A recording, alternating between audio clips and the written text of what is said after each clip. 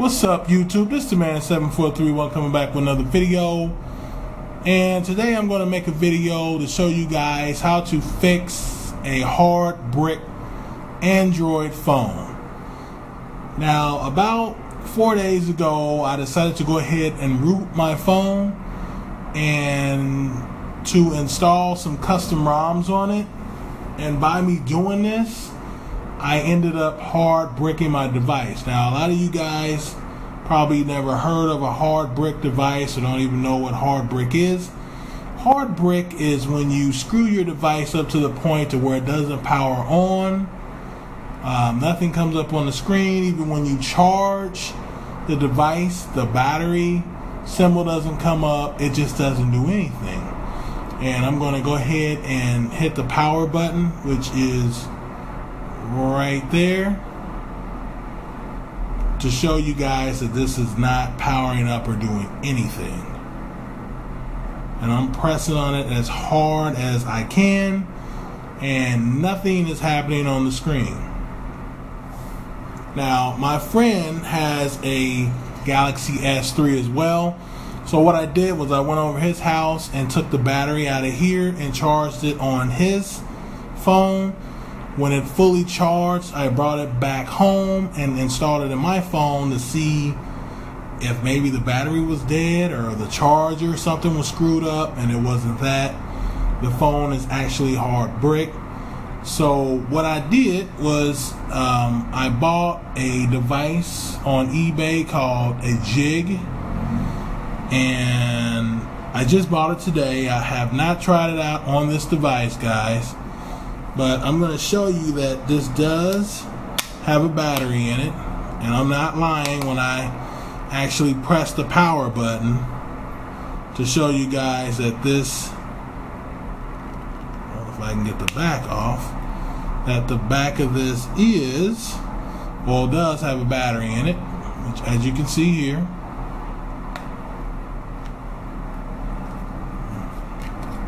So, get the back part back on here.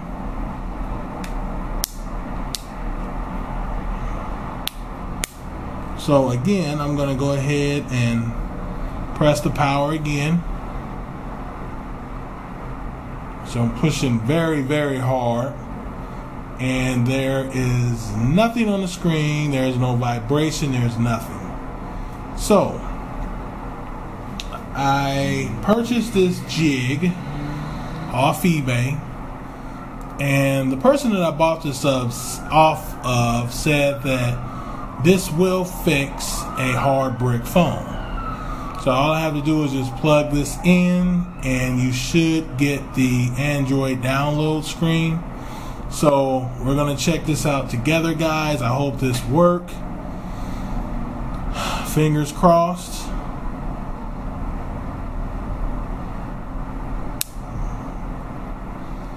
So here we go, guys.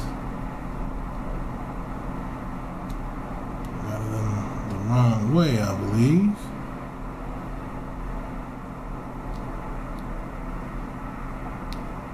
Nope, it was the right way.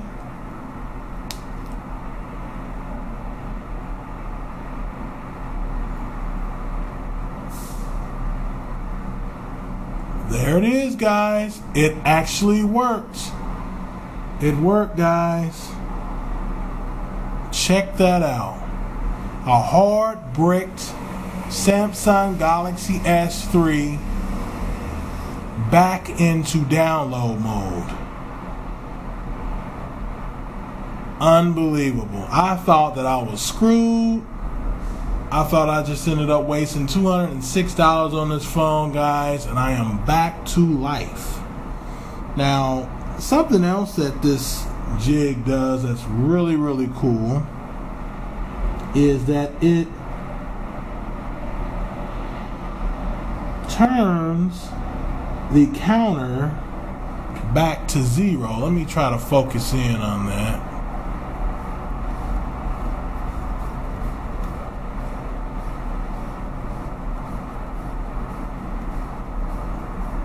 And it's not gonna let me focus on it guys sorry about that but uh, I guess the I guess the print on it is too small. But anyway, um, these jigs, I guess once you put your device in download mode one too many times, it's going to put a triangle on the screen saying that you can't put it in download mode anymore. One of the sweet things about this jig is that it will reset the counter on this to where you can um, put this in download mode as many times as you want, which is really cool. If your device is hard bricked and you are having a lot of problems and your phone will not power back on no matter what you do, definitely look into one of these jigs. It will work for you like it worked for me. Um, and they only cost a few dollars. I think I paid like three dollars and seventy five cent for this one. Um, I actually bought two just in case one didn't show up or got lost in the mail. I have another one for backup. So this is the man seven four three one. Get ready to sign out.